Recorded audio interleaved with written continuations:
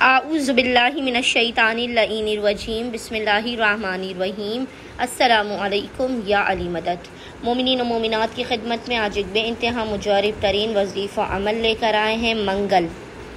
Tuesday والے دن مومنین نے اس عمل و وظیفے کو پورے دن میں کسی بھی وقت نصف شب تک کر کے زمانے کے امام اجل اللہ تعالی فرجہ شریف کی بارگاہ میں پیش کرنا ہے۔ خدا وند مطال صاحب زمانہ کے حق صدقے میں۔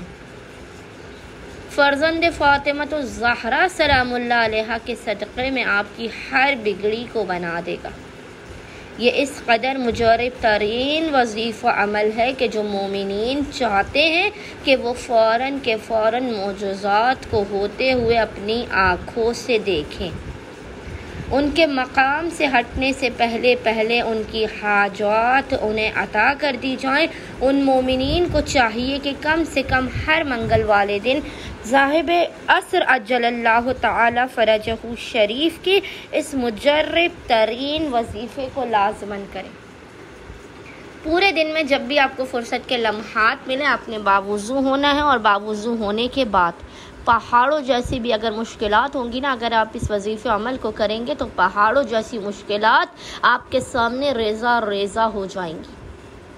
اس قدر یہ مجرب ترین وظیفہ عمل ہے کہ مومنین جب اس وظیفے کو کریں گے تو اس وظیفے کی افادیت سے، اس کے کمالات سے، اپنی جاگتی ہوئی آنکھوں سے دیکھیں گے اور دیگر پریشان حال مومنین تک بھی مومنین اس وظیفے عمل کو پہنچائیں تاکہ زیادہ سے زیادہ مومنین کے مسائل کا خاتمہ ہو اور ان کی مشکلات ان کے زندگی سے دور ہوں بس آج پورے دن میں منگل والے پورے دن میں جب بھی آپ کو فرصت کے لمحات ملیں آپ نے باوضو ہونا ہے اور باوضو ہونے کے بعد آپ نے محمد اور آل محمد پر قبلہ رخ بیٹھ کر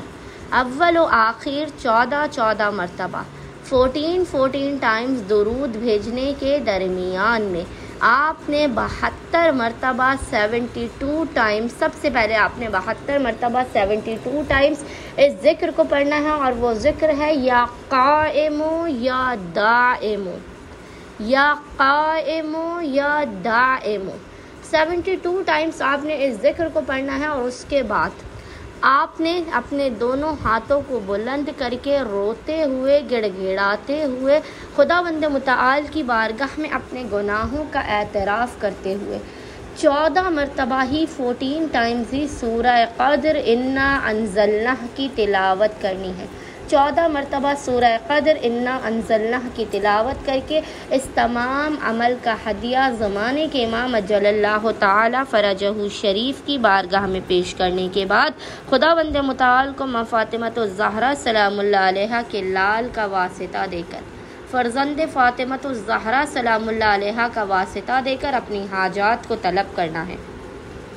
مشکلات کے خاتمے، رزق میں برکت کی دعا کرنی ہے۔ انشاءاللہ تعالی خداوند متعال صدقہ صاحب الاسر والزمان مومنین کی ہر ناممکن ترین حاجتوں کو انہیں عطا کر دے گا۔ ہر بلا، مصیبت، آفت، پریشانی اور ناگہانیوں کو ان کی زندگیوں سے دور کر دے گا۔ اللہم صلی علی محمد و آل محمد وعجل فراجہم اجمعین۔